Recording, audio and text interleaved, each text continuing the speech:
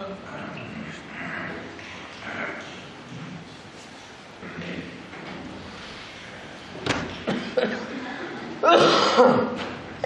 لله غافر الذنب وقابل التوبة الحمد لله الذي فتح لعباده أبواب رحمته ومن عليهم بقبول توبتهم وأشهد أن لا إله إلا الله وحده لا شريك له. دعا عباده إلى التوبة ليغفر لهم السيئات ويرفع لهم الدرجات. وأشهد أن محمدا عبده ورسوله الذي كان يكثر من قول سبحان الله وبحمده أستغفر الله وأتوب إليه. صلى الله عليه وعلى آله وصحبه ومن تبعهم بإحسان إلى يوم الدين. أما بعد فأوصيكم ونفسي بتقوى الله فهي وصية الله سبحانه وتعالى لعباده. قال جل من قائل ولقد وصينا الذين أوتوا الكتاب من قبلكم وإياكم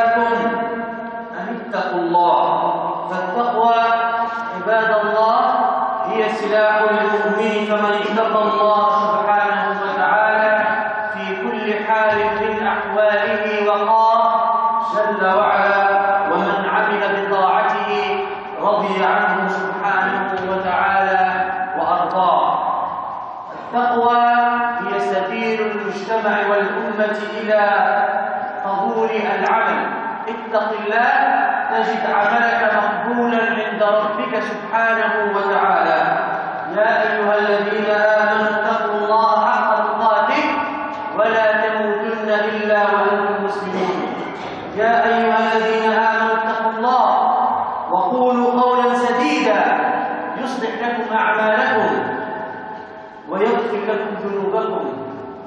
ومن يطع الله ورسوله فقد فاز فوزا عظيما. يقول صلى الله عليه وسلم لولا أنكم تذنبون يخاطب صحابته وأمته أمة الإسلام.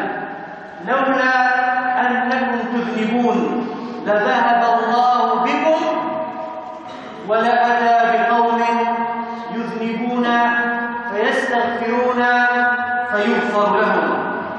فالذنب لا محالة دافع بنا وواقع الذنب لا محالة فيقع فيه كل مسلم من امرأة أو رجل شاب أو هرم لا بد أن يخطئ وأن يقع في الذنب لا محالة ليس معصوما من الناس إلا الأنبياء وليس معصوما من الناس إلا الرسول صلى الله عليه وسلم هو الرسول وهو النبي عصم من كل خطأ ومن كل زلل وعلم هذا الخيرة من صحابته رضوان الله عليهم أجمعين أبو بكر وعمر وعثمان وعلي كلهم تربوا في مدرسة النبي صلى الله عليه وسلم فنهجوا نهجه وشرعوا شريعته ولم يخرجوا عنه ولو قليلا ملاحظا أو كبيرا أو صغيرا لا يلاحظ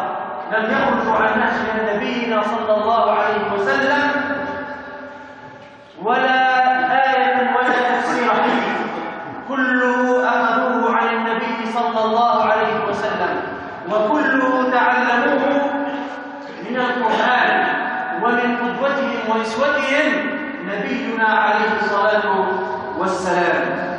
ولكن الخطأ كما قلت والزلل واقع في الأمة ولكن هناك صنفان من الناس إذا تعاملوا مع الخطأ.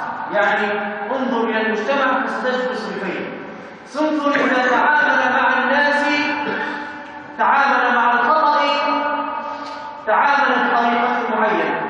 وصنف ثاني إذا تعامل مع زلله وخطئه تعامل بطريقة أخرى مغايرة.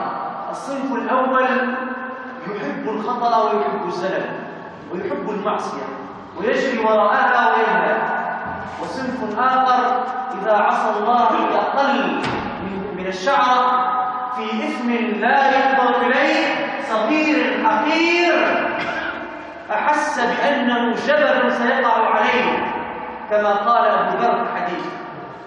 أحس كأنه جبل يخاف أن يضع عليه الصنف الأول يجترئ على الذنوب والمعاصي ويتهاون في أداء الواجبات وإذا فعل أكبر الكبائر كأنما ذباب حط على أنفه فقال به هكذا كل ذنوبه عنده صغيرة لا يعبأ بها قول أو عمل أو فعل سرقات وكثير من الناس في هذه في هذه في هذا الأسبوع في هذا الشهر يسرقون المساجد والعياذ بالله يسرقون الكتب من المساجد ويسرقون الزرابي من المساجد ويدخلون المساجد والعياذ بالله ليتغوطون فيها. هذا واقع وهذا صريح ومعلوم. يدخلون المسجد حتى يعصوا رب العزة سبحانه وتعالى فيه. هذا أمر وهذه فئة من الناس تجترئ على المعاصي وتبحث عنها. فإذا وقعت المعصية تقول بها هكذا كأنه ذباب حط على أمره وكأن الأمر هين.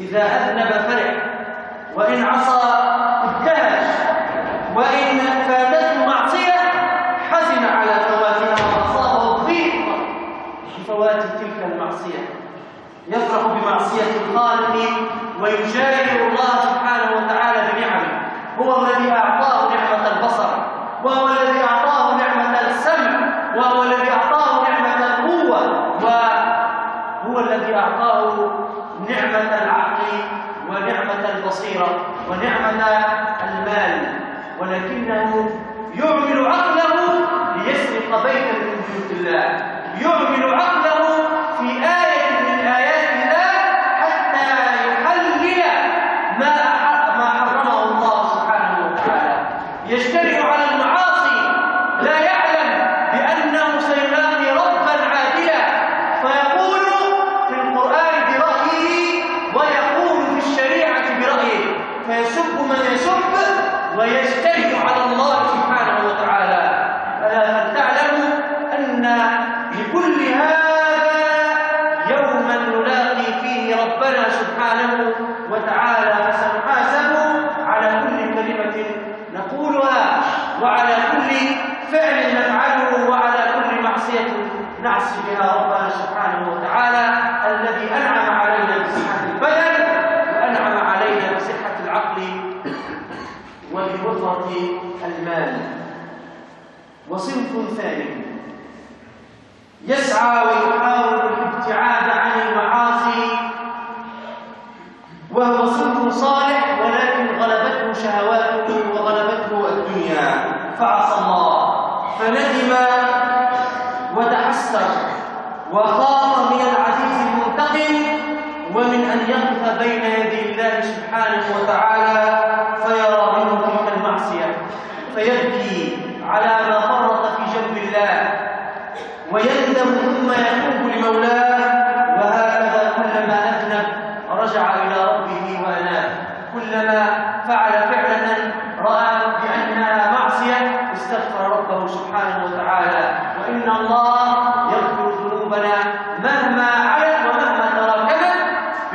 بشرط الندم والاتجاه إليه بالدعاء. اللهم اغفر لنا. اللهم تب علينا. فنحن عباد الله هنا بين هذين الصنفين. من أي صنفين نحن؟ من هذا الصنف الأول المجتهد على المعصية أم من الصنف الثاني الذي كلما أذنب استغفر ربه وأناب؟ فلتسال نفسك وتسأل أهلك وكل من تعلم؟ ناصحا عالما أو متعلما عليك بأن تنصح الناس. وتقف بين زوجك وأهلك فتعلمهم. وتعلمهم كيفية أن يتوبوا. في كل ذنب يختلفون ومن كل ذنب يختلفونه. يقول سبحانه وتعالى والذين إذا فعلوا فاحشة أو ظلموا أنفسهم ذكروا الله. بعد أن عصى ربه بأن قام بالفاحشة وبالظلم ذكر ربه سبحانه وتعالى. ذهب صلى ركعتين. أو توجه إلى ربه بالدعاء أو توجه بالصدقات أو أكثر من الصيام بعد ذلك. ورفع يديه إلى السماء مستغفرا ربه سبحانه وتعالى. بعد أن ظلم وبعد أن أتى الفاحشة ذكروا الله. هذا نوع من الذكر. وهو أن تتوب لربك سبحانه وتعالى من كل معصية. ذكروا الله فاستغفروا لذنوبهم. ومن يغفر الذنوب؟ ومن يغفر الذنوب إلا الله ولم يصروا على ما فعلوا وهم يعلمون. أي الصنفين نحن وأي الصنفين أنت؟ تفكر وانظر وتدبر ثم ابتغي إلى الحق سبحانه وتعالى. واترك باب التوبة. فإن كنت من الصنف الأول فالنجاة النجاة والفرار إلى الله. ففروا إلى الله إن كنتم إياه تعبدون. وأنقذ جلدك وبدنك من النار. وإن كنت من الصنف الثاني الذي يطيع الله سبحانه وتعالى. ويتقيه ويخاف من الذنوب. فإذا أذنب كان في قلبه خوف من الله خوف أن يفضحه الله سبحانه وتعالى أو خوف من أن يعاقبه أو خوف من الحق سبحانه وتعالى أن يطلع عليه وهو في ذلك الذنب. فأكثر من التوبة وأكثر من الاستغفار واشغل نفسك بما يفيد عما لا يفيد ودع ما يريبك بما إلى ما لا يريبك ثم اعلموا عباد الله أن دواعي التوبة كثيرة. دواعي أن يتوب المرء إلى ربه سبحانه وتعالى ويرجع إلى مولاه الذي خلقه دواعي ذلك كثيرة كثيرة كثيرة ولكن من أكثرها ومن أعظمها أن هناك حاج الموت يدعو وينادي الأحياء في كل وقت. يناديهم وأنتم ترون كل يوم نعشا. يذهب من بيت أحدكم إلى القبر. فهذا نذير لكم بأن الموت على الأبواب. كذلك من دواعي التوبة أن الإنسان قد يعلو رأسه شيء هذا الشيء نذير كما قال ابن عباس ولقد جاءكم النذير قال ابن عباس النذير الشيء ينذر به ربنا سبحانه وتعالى من شابت لحيته ورأسه في طاعة الله وينذر كذلك العاصي في الأمة الإسلامية ينذره بأن العمر الذي قد سلف ما سيأتي أقل منه بكثير فاعلم عبد الله بأن الإنسان إذا مات قامت قيامته وتعلم كذلك بأن اليوم الذي يذهب لا يرجع. فهذه أشياء هي من دواعي التوبة. ولكن كذلك من دواعي التوبة التذكير اليومي الذي يذكرنا به ربنا سبحانه وتعالى يوميا بأن تذكر فإن في الأرض إلها. كل يوم تسمع في المآذن الله أكبر الله أكبر كل يوم فهل تذكرت يوما أو تدبرت يوما في لا إله إلا الله التي تسمعها في كل وقت وحين خمس مرات في كل يوم تسمع الله أكبر فهل اهتديت وذهبت إلى الصلاة فهل اهتديت وذهبت إلى صلاتك وإلى طاعاتك وإلى عباداتك ودافعت بقيمك وبإسلامك عن إسلامك دافعت بعملك عن إسلامك حتى لا تترك ذريعتك الذين خرجوا وذهبت عقولهم أن يسبوا الله ورسوله وأن يعطلوا ما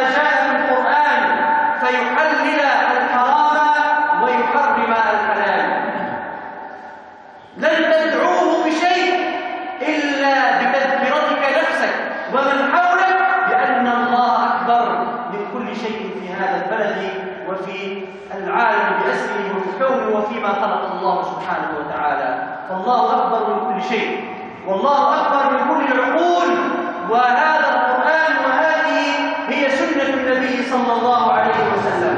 نحن عليها وندافع عليها بأعمالنا أكثر من أقوالنا وأكثر من كل شيء. يا نفس توبي قبل أن لا تستطيعي أن تتوبي واستغفري لذنوبك الرحمن غفار الذنوب. إن المنايا كالرياح عليك دائما الهبوب والموت شر ما بقي لنا على القبر إلا ساعات كبيرنا وصغيرنا. عليك أن لا تحقر شيئا أكثر من هذه الأيام التي نعيشها فإن الله سبحانه وتعالى سماها دنيا لأنها دنية ليس فيها إلا شهوات بطن وشهوات فرج وليس فيها شيء إلا ما اكتنزناه لغد. إلا تقوى الله. التي ستكتب في صحائفنا فنتزود بها إلى يوم ليس فيه إلا ربنا سبحانه وتعالى سيسألنا. ماذا قلت وماذا فعلت؟ فنجد هذا الزاد الذي تزودنا به في الدنيا. وتزودوا فإن خير زاد فإن خير الزاد التقوى. كذلك من دواعي التوبة عباد الله الخوف من الله. فخوفنا من ربنا سبحانه وتعالى هو داع من دواعي توبتنا. عندما نقرأ كل يوم في القرآن سورا